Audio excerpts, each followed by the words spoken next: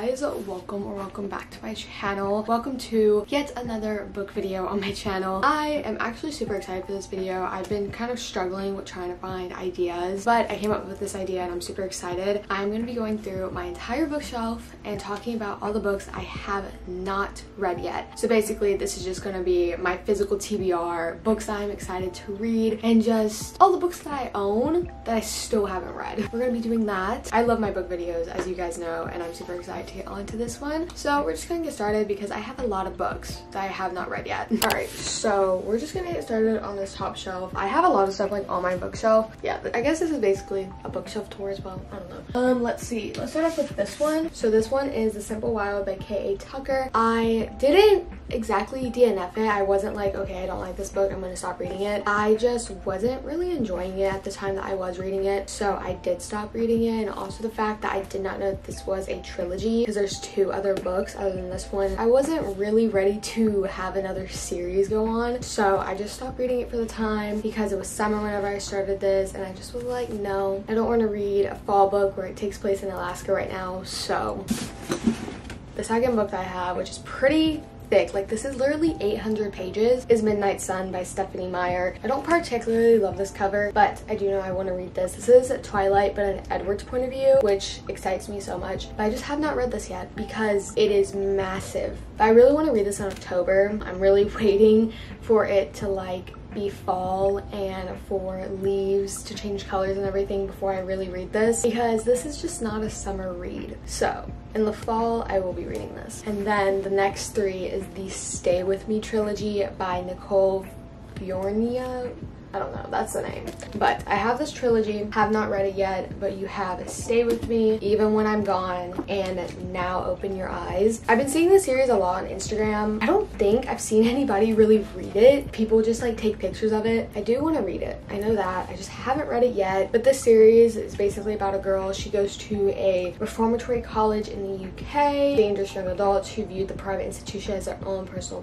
playground. She kept her head down and then she meets Ollie Masters. She has like mental issues and then he, I don't know, kind of helps her maybe with that kind of stuff. I don't really know. All I know is that I'm kind of excited for it because I love books that take place in Europe. The next one is A Hate Like This by Violet Bloom. I really, really want to read this book, guys, but I recently got this book. It is a Grumpy Sunshine, but the boy is Sunshine and the girl is Grumpy. They are also childhood enemies to lovers. Um, They have a secret. It's also a forbidden romance because she's a part, like her family's a part of this gang and his dad is the sheriff. As soon as I saw that it was Grumpy Sunshine, but the girl was Grumpy and the guy was Sunshine, I just knew that this book was for me. I'm so excited to read it, but guys, the text in here is so small. Like that is so small. I'm still gonna read it. And then we have The Wicked Love by Prue Schuyler, Sheeler, I don't know. This one is the second book in this series, which I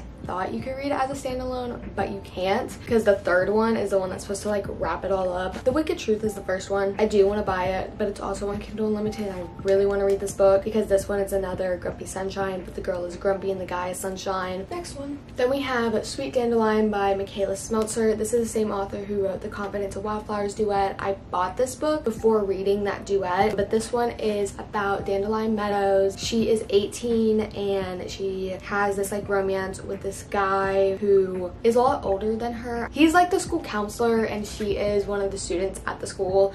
I don't really know. I didn't know much about this whenever I bought it. I'm still gonna read it because I bought it, but like I'm kind of scared if I'm gonna like it or not. I don't want to take these out. I'm not even gonna lie, I don't feel like taking these out, but the next three is Addicted for Now, Kiss the Sky, and Hot House Flower, Calloway Sisters, Addicted series duet. I'm not gonna talk about it because I, everybody knows what those books are about. But yeah, I have not read these three and I'm not gonna take them out because I just don't feel like it. That is the first shelf. So far, I have, I took eight books off of the first shelf, but the bottom shelf is where all of my unread books are because these are just my favorites. Up here are the most I'm excited to get to. Now we move on to the bottom shelf.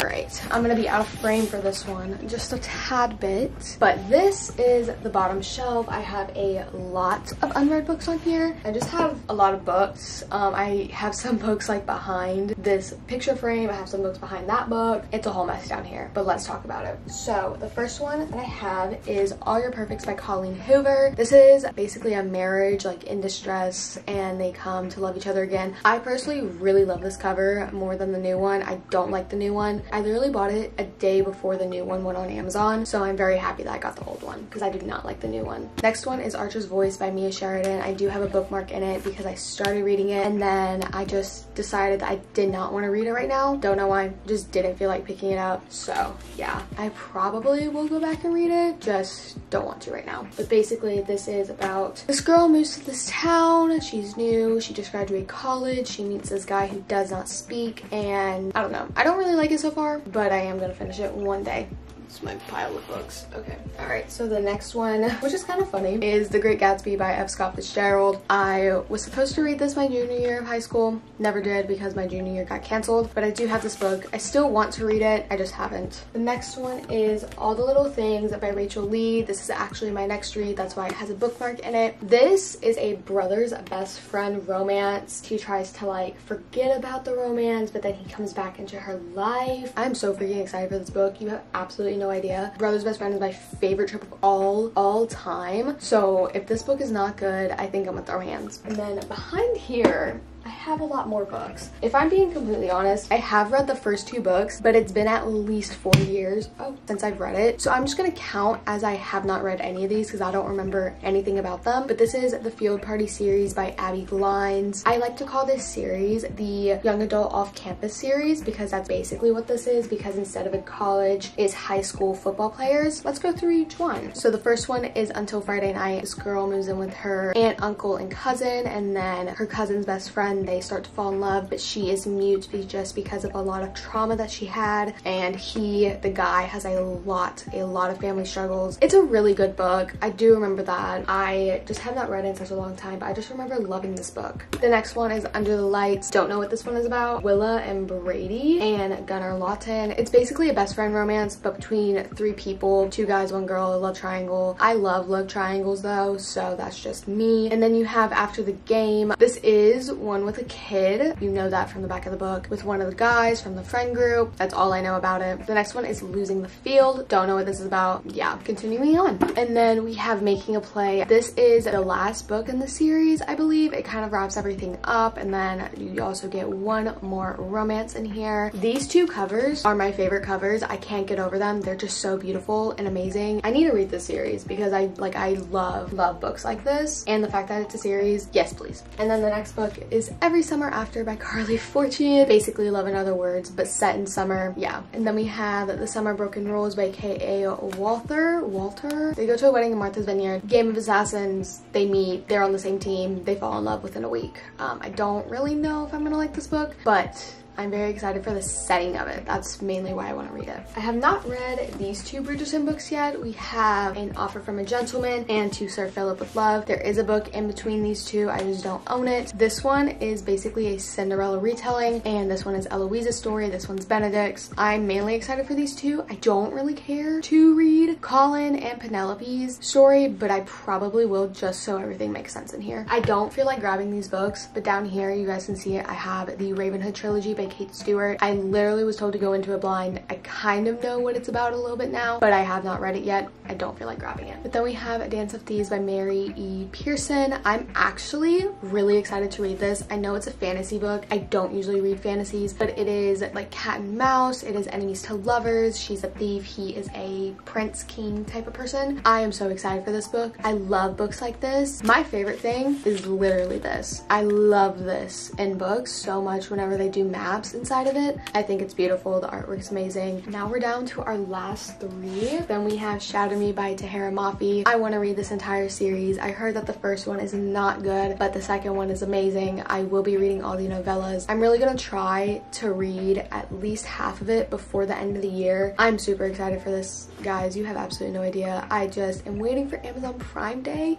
so I can order some more books, depending on their sale. I'm super excited to read this. But I think we all know what this is about. It's a dystopian dystopian world, so it's not exactly fantasy. This girl, her name's Juliette, she has a lethal touch. There's someone that she can touch that she doesn't kill, and that's basically the whole premise of like, oh my gosh, I didn't kill you, kind of what's going on. I think she's captured like in a cell by the government. I don't exactly know, but I've only heard good things. The second to last book that I have on here is Pride and Premeditation by Tirzah Price, I believe that's how you say it. It is a Pride and Prejudice retelling. Basically, Darcy, Mr. Darcy, is a detective and Elizabeth Bennet, she kind of wants to help him in this murder that has been going on no, Darcy is a lawyer and Lizzie Bennet is a law student. Sorry, I thought they were detectives. They're not. But they go on this case together and then they find out they have feelings and it makes everything complicated and they might get killed. That is all I know about this. I saw this in Barnes & Nobles one day and I was like, I just read Pride and Prejudice. I'm gonna love this book. So I bought it. I still have not read it. I probably will be reading this in October as well just because of the vibes it gives me. And the very last book is The Ninth House by Leigh Bardugo. I will be reading this book in the fall. It only gives me fall vibes. Like, look at this cover. I am so happy I got this cover with like the orange snake instead of just the black and white. This book takes place in Yale with the freshman class. There is a bunch of secret societies with the rich and powerful. Now there's a dead girl on campus and basically they're just trying to solve this murder case. I don't usually reach for books like this, but I saw like the aesthetic for it and I saw people like posting annotations of this book and I knew I needed to read it just because of the setting. It just seems so amazing to be in a place like this. I will be reading this again in October. My October TBR is kind of high, but it will get there, you know what I mean? So yeah, I'm super, super excited for this book. Do you guys want to see all the books that I plan to read? Yes. I literally have two full stacks of books right here. This is a lot of books. This is literally over half of my books that are on my shelf. So those are all my physical TBR books. I know I kind of was going through everything rapidly, but I didn't want to stay too long on one book because I knew that there were just going to be a lot of books. I really hope that you guys enjoyed this video. If you did, make sure to give it a thumbs up and subscribe. I really enjoyed making this video. I love talking about books. I know I was confused for a lot of them, be like, I don't really know what this is, but that's fine. Thank you guys so much for watching. If you guys want more book videos, let me know in the comments, and I will see you all in my next one.